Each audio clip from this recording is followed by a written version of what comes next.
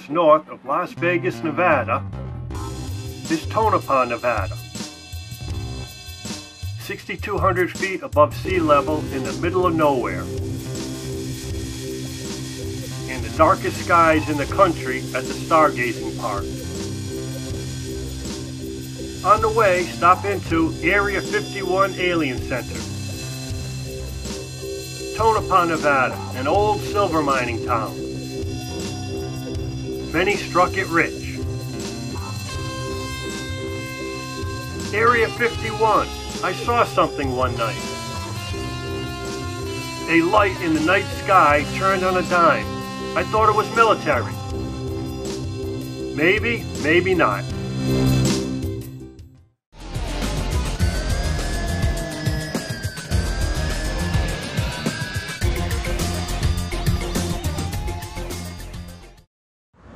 There anything that you don't bet on? I mean, come on. Used to be the Red Sox winning the World Series, Paulie. Hey, no more. The Red Sox won. I don't understand this Julie Barge, you know? A week ago, she's up enough to buy a house in Vegas, a house in Florida. She can buy anything that she wants. Then she goes and uh, lets it all ride. I tell you, that's the problem with most of these card players. They got all the skills in the world to win, but they can't stop.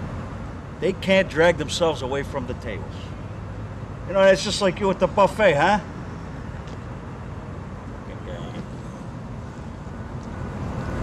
Tell me something, Tommy. If she loses, are you gonna pull that crazy stunt of yours? What are you talking about? What are you talking about? I don't twist their arm. I don't put a gun to their head. It's their choice. Plus, it gives them the opportunity to get out from underneath the debt they owe to us. I just don't think that the cops or the feds are gonna see it that way.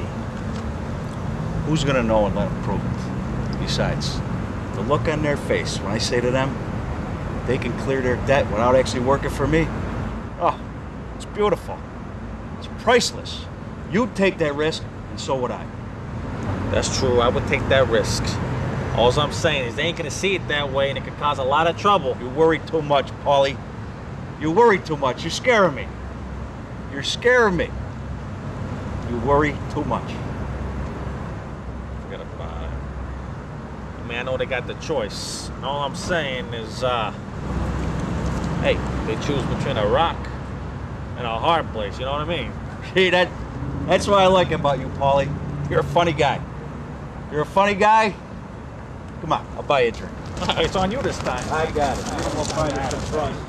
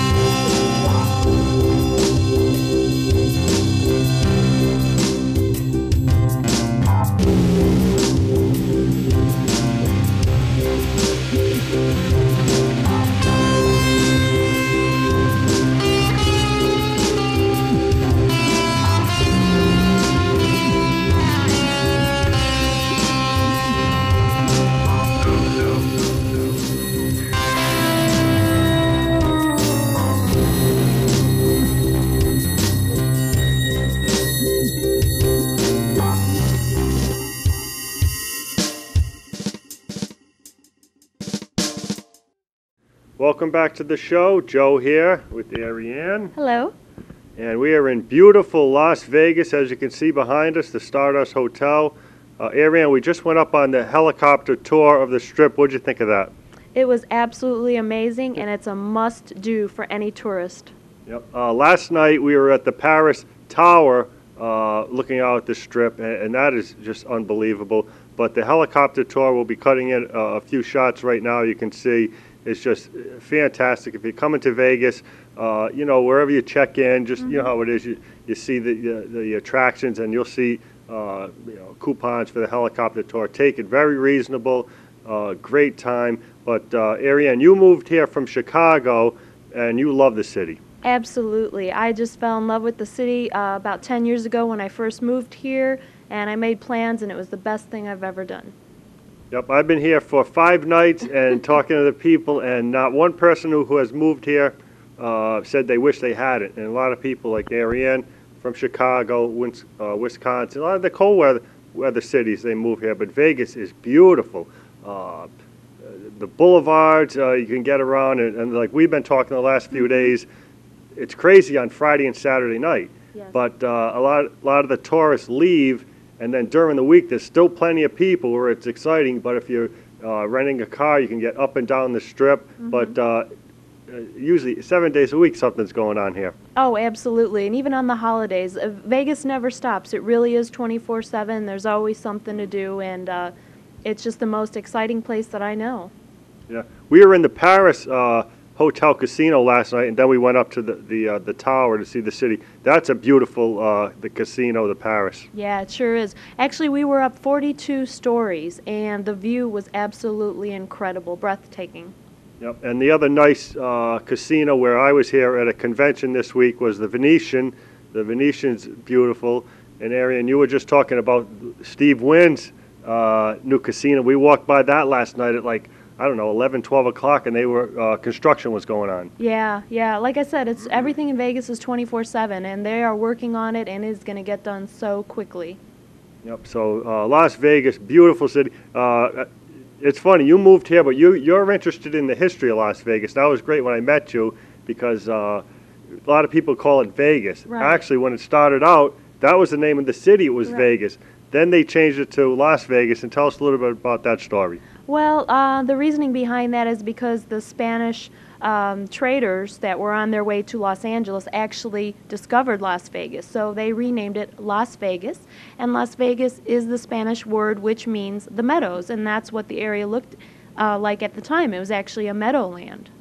Yeah, because it, Las Vegas is an o- oasis because in prehistoric times it was lush, it was a lot of water, and then when that w- uh, went away, all that moisture seeped into the ground, and and uh, when uh, settlers, I shouldn't say settlers, we'll call them explorers for lack of a Yes. better term, when they were going to the west coast, I think it, they cut through and found out this beautiful valley here where there's water and uh, you know Las Vegas is, is so that's that's a story that uh, I, you know what I found interesting. They had a ban on gambling for like three months in the 20s. Did you hear about that? Yes, they did. They did. And uh, it was illegal even to flip a chip uh, for money. Yep. Uh, so uh, those are some of the things going on in Las Vegas. Always changing when you talk to people. Uh, constant change. So that's why a lot of times you'll see people they'll say, "Oh, I haven't been there in two years." Oh, you've been there. What's changed? Because there's a new casino going up. And but uh, you were saying last night, and I talked to uh, some people today. They were saying they don't like that idea of putting the kind of gift shops in front of the casinos because when you walk down the strip, you want to see the casino. Exactly, I agree with that. Um, Las Vegas is just growing so fast that maybe they're not planning as well as they should. Um, I just prefer the open spaces, and I think many other tourists do also. And they do come here for specific reasons. They want to gamble, they want to drink, they want to have fun. And um, the shopping is just, I think, a secondary concern. So I, I don't really agree with what they're what they're doing with the shopping, but the Yeah. lights out. Yeah, that makes sense because I've been here all these days now, and the only thing I bought so far is one sweatshirt, only because it was cold last night, right? Right, Because you don't shop out here.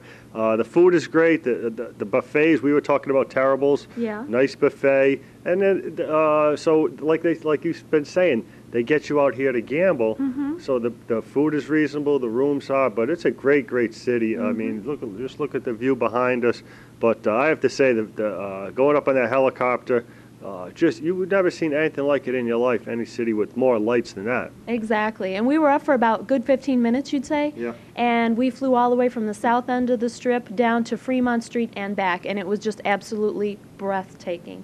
It was. It was. Uh, we were saying that helicopter uh, pilots got the best job in the world. Yeah. But uh, yeah, check them out when you come to Vegas. Uh, just they're all over the place the, as far as their information. The owner has his other uh, company in, in Hawaii, so he owns a, a helicopter service in Hawaii and Vegas. And they also fly during the day uh, to the Grand Canyon, Hoover Dam. Now, how far is Hoover Dam uh, like from the Strip? Actually, from here, it's only about a 30-minute ride in your car. In a helicopter, I know it's going to be a lot shorter than Yeah. that. Yeah, so that's another thing. Like when you fly into Vegas, when you look down and you see Lake Mead, it's beautiful, Mhm. uh, it's just incredible. You were saying because I was asking in the summer because it is so hot out here, uh, where do you go to swim? And you were saying it's really not a swimming type of uh, place around here. Uh, well, if you're used to natural beaches or, or oceans or whatever that, that you live from in your hometown, you're not really going to find it here.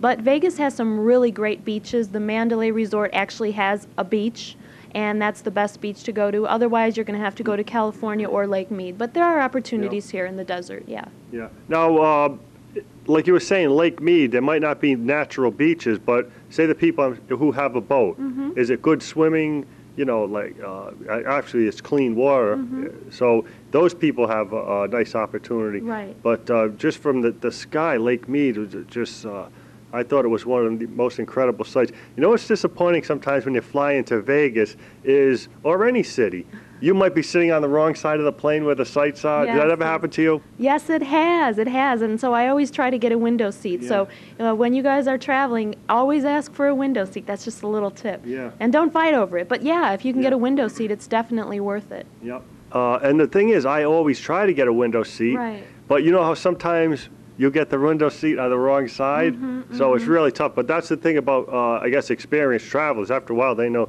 sit on this side to come into Vegas. But uh, I've never flown into Vegas at night either way. But uh, now I hear, like, what do they call it on Friday night? The Friday Night Express? All the people coming into Vegas? Oh, yeah, that's what we call the influx of tourists from California because they like to Oh, yeah. come up here for the weekend, you know. Yeah. Um, and it's just it's just craziness, but we welcome them. Uh, it's just a big party. We have a good time. There's so much to do, and we like to go to California as well and get out of the desert every once in a while. So Right, because you just came back from Los Angeles, Yeah. and uh, Vegas and, and Los Angeles, they were basically there's a highway between them. That's where the, that's how uh, the two cities were connected. Mm-hmm. But you made a good point earlier that I, I thought was interesting when we were driving back. You were saying the old casinos they're really glittery Yes. as far as the signs. Where now some of them, uh, like the Bellagio, will say, and the Mirage, they're nice, but they'll have a, a, a sign where uh, some of the like we'll say like the Riviera, or the Flamingo, uh, much more colorful. And another point you made uh, was the uh, neon uh, graveyard. Yes, yes, that's a must see.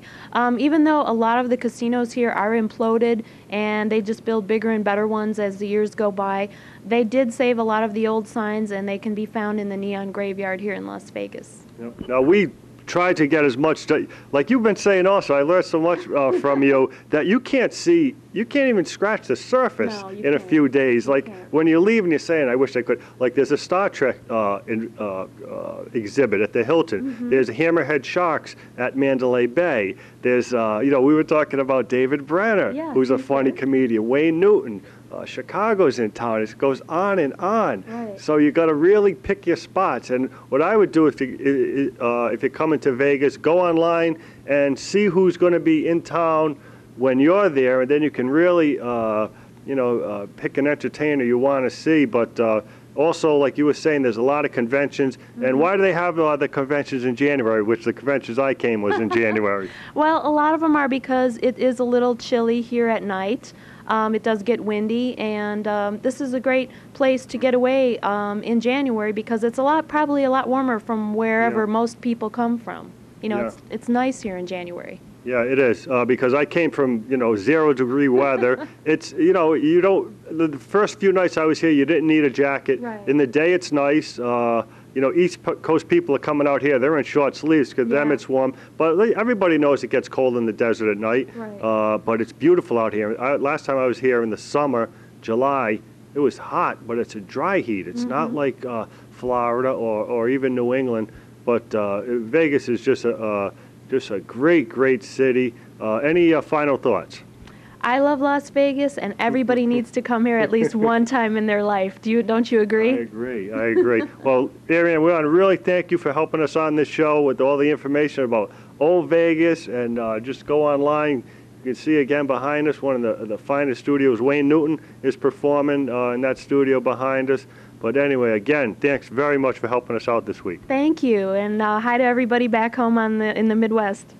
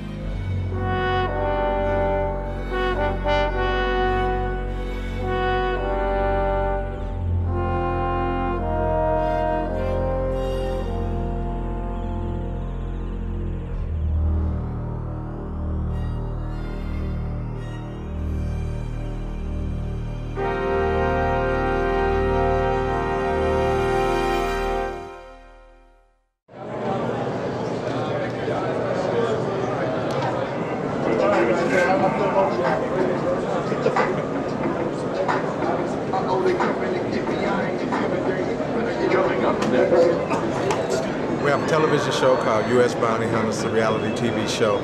We're all actual real bounty hunters. There's 11 of us. We started filming two years ago, and we decided to put it on television, and we came to the NATPE show to get it sold. It's a big show. We've got some real good Nielsen ratings already, and we've got a lot of deals and offers at uh, the NATPE show right now. James. I've been a bounty hunter for about two years, and uh, it's exciting. It's an adrenaline rush, and uh, there's nothing else like it. Hi, I'm Ben Hoppus. I'm Bill Bondsman and a bounty hunter for 20 years plus. And uh, being friends and partners, been partners for uh, oh, about eight, nine years. Hi, I'm Seth Brashadsky from Palm Beach Entertainment and Wavecrest Multimedia. We're here at the NATPE show for 2004 to show our content. We're the largest uh, privately owned content provider of English-speaking content in the world. We have about 5,500 different titles that we own the underlying rights to, screenplay and music. And we're here to make deals for broadcast, streaming, video, and also for retail. Thanks for coming to our booth. Hi, I'm Marcus Rothkrantz with Astro Films. We're having we have a show here at NATPE called Atomic City, a great, fun little show for the whole family, which is an action adventure comedy, which is uh, basically a Jetsons in Las Vegas in the future. It's got uh, a private investigator who looks a lot like Elvis in a futuristic jet car driving around in Vegas 2025. It's a fun action adventure for everybody who grew up with, with Get Smart, Gilligan's Island, and a little bit of Austin Powers in there, Men in Black. It's uh, it's a fun show. Total eye candy, something that will probably go good all over the world in prime time. Look for Atomic City coming to a television near you soon. Dave Skorzek, uh, president of Eat Your Lunch, and uh, we are an independent production company that created a show for the 8 and Under crowd called Bizats. It's a uh, series for the 8 and Under crowd, as I mentioned, that's about a trio of escaped industrial robots that decide to follow their dreams rather than follow their programming. So they escape from the factories of Globo Crud and learn all about growing up a little bit at a time. And uh, each series, each show features little life lessons told through skit and song. Hi, I'm Noreen. And I'm Daniela. And we're here at NATPE to encourage people to learn about our model boxing. We're all Perfect 10 models and we're boxing each other. And our last fight was at the Grand Olympic Auditorium and it was on pay-per-view. And you can pick up that DVD from perfect10.com. And we are going to continue having fights every few months. We have a fight next month in Reno and soon here in Las Vegas. So this is this is real, folks. It's it's real boxing. It's really entertaining. Last fight, I knocked a girl out, and you should check it out. Go to perfect10.com and you can see more about it. And uh, we're we're not sure what station it's going to be aired on or anything like that, but we're looking to get represented that way. And I've been training myself since since June, and I think she has two. Yeah, I've been training since June too. We trained like two to three times a week for a couple hours a day. Regular boxing training, just as agonizing. Hi, my name is Ann Potenza, and I am here with Fearless Productions. We are a production company based out of Los Angeles, and this is our first time at NATPE. We are actually exhibiting four shows. We have a game show, which is a 30-minute format, and we have three dramatic series. I'll tell you about our shows. We have the Best Friends show, and that is a game show. It's for best friends, and it was created by best friends. And it's a cross between the Newlywed Game with a little bit of Sex in the City personality added into it. We bring uh, four sets of best friends onto the show, and they compete against each other in a question and answer seminar to see how well they know each other. And what we do is at the end of the elimination rounds, the best friend team that wins, they win a final grand prize, which is a shopping spree together and a getaway trip. And that is our half hour. Most of the people here at the booth with us today are actually cast members on the Best Friends show. And um, we actually did the pilot, myself with my best friend, and family members and their best friends. And we actually have a trailer here today of what we were showing for that. And then with our three dramatic series, we have the jury room, which is a 60 minute format, and we actually take historical and contemporary court cases, and we take the evidence and the documents, and we take a jury, we take 12 actors, and we give them jury profiles for each of their characters. We give them the evidence and the documents, and they actually go into the jury room and deliberate the case. We tape the show, we tape them for about approximately four to six hours, and we edit edit it down into an hour format of what their deliberations are. So it's a very high energy, dramatic piece where we get their prejudices, their personal agendas, the evidence, and it's very exciting drama. Our other drama that we're here showing is Sorority Row, and that is a story told through the eyes of six sorority members and they are on college life, and it is basically the trials and tribulations that they go through when they are in, in college life. Uh, the format we actually are based in a college atmosphere, but the themes of what they go through can be found in any college with any group of people. They actually go through things like dealing with date rape and alcoholism, death, uh, and other relationships with boys and with each other. It's just a very relationship-based drama, and it really shows the closeness of what a group of people away from home in college, what they go through and how they support each other. And our last show that we're exhibiting is One Step, and that's a drama based on a man who loses his wife, his job. He hits rock bottom um, at the point of, of despair, and basically his friends and family that gather around him and try and help him get out of his slump, almost like a 12-step recovery program. And this is basically a story of how his journey through recovery.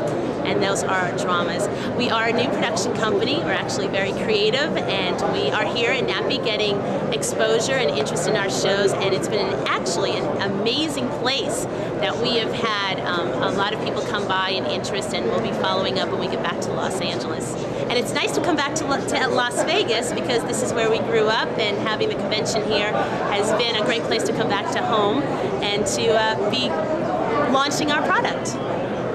Hi, my name is Ann Potenza, and this is my best friend Gloria. Hi. Hello, I'm Sally Potenza. This is my best friend Tony. Hi. We've been best friends for about second grade. Second grade. Been second grade, and we've been best, best friends ever since. Yep, and we're so happy to be a part of the Best Friend Show, and hopefully here we'll be able to get it out there, and someone will get it on TV, and we'll be able to share our stories with everybody, and everyone can share their stories with us. The best part of making this is that we actually are together doing a great project. At the same time, it's authentic because it's best friends making best friends show, and all the material that we have is actually real experiences that we've gone through. So it's been fun to create a show that we can take from our own life and we can really incorporate it and just uh, send it out there for fun and entertainment. So it's been great. It's very fun and fresh and exciting, something that hasn't been done yet.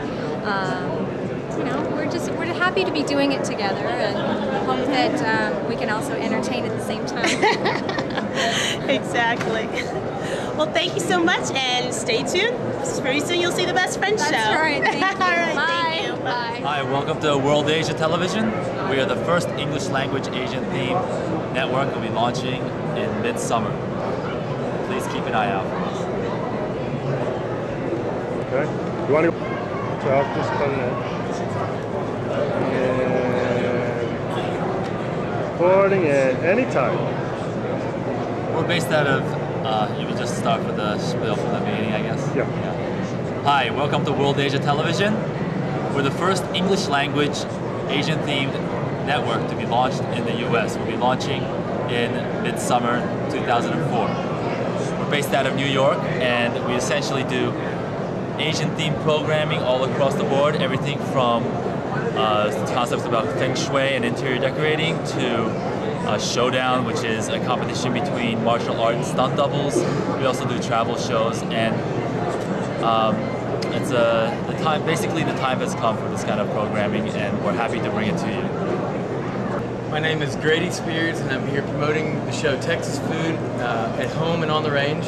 It's a Texas show about cult, the, the Texas lifestyle, the culture, the food, the, the, the whole way we kind of live our life in Texas. And so we're, we're going to shoot 26 episodes, all on location. Uh, 13 episodes will be with celebrities from Texas or with ties to Texas.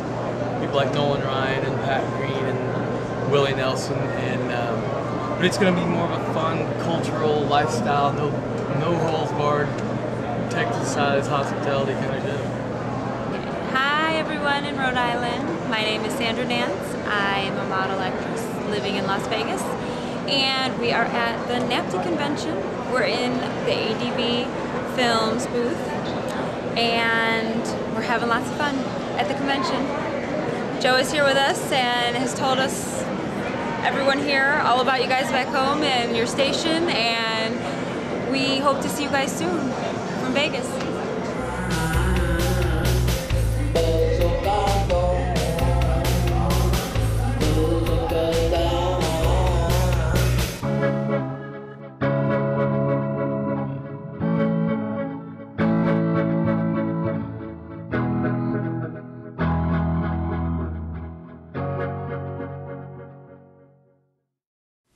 Hello, ladies and gentlemen. Welcome back to the show. Joe Mahan here. As you can see behind me, the Stardust Casino and Resort.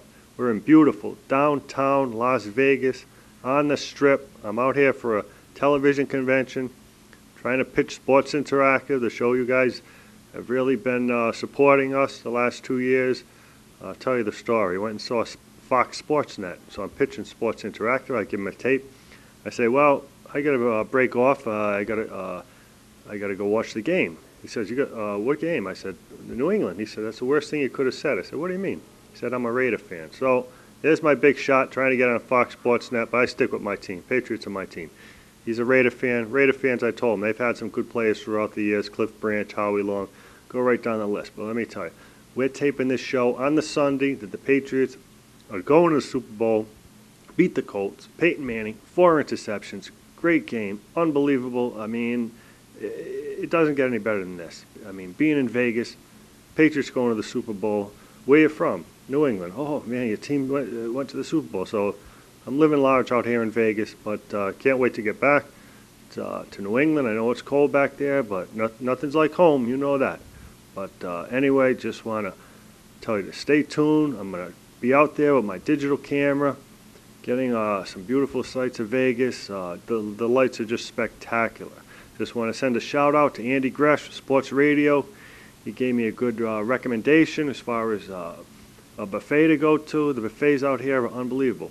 11 bucks all you can eat. I mean, wow. I mean, I love it. I love it. I love Vegas. I mean, that's all I got to say. So let's continue with the show because I would just be standing here for an hour talking about Vegas. But stay tuned. We'll be right back.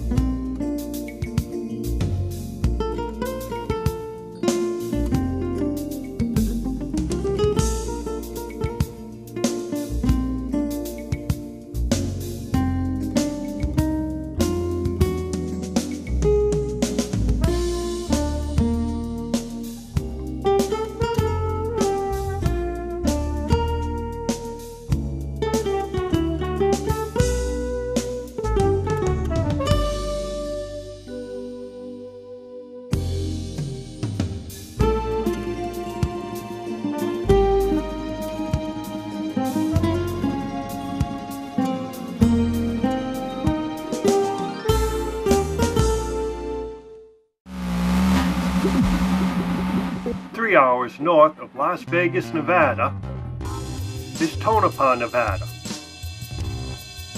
6,200 feet above sea level in the middle of nowhere. And the darkest skies in the country at the stargazing park. On the way, stop into Area 51 Alien Center. Tonopah, Nevada, an old silver mining town. Many struck it rich. Area 51. I saw something one night. A light in the night sky turned on a dime. I thought it was military. Maybe, maybe not.